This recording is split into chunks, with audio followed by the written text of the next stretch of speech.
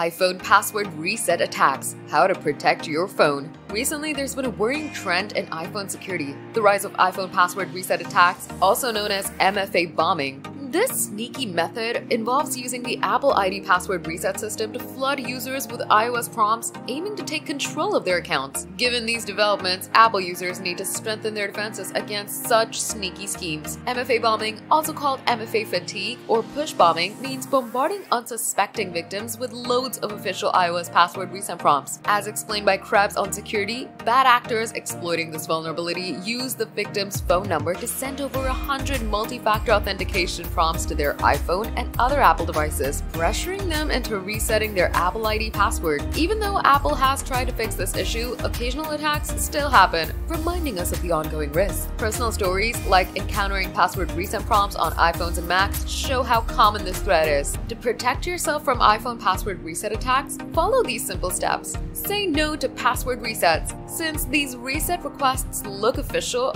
be careful and always select Don't Allow to stop the attackers in their tracks. Be careful with incoming calls. With calls spoofing on the rise, where scammers pretend to be something they're not, it's best to avoid giving out personal information or one-time codes over the phone. If you're unsure, don't answer and reach out to app through trusted channels. Change your phone number if needed. If you keep getting prompts, consider changing the phone number linked to your Apple ID temporarily. But remember, this might affect iMessage and FaceTime. Staying alert is crucial to protecting yourself from iPhone password reset attacks. By taking proactive steps and following these tips, stay informed, stay careful, and stay secure.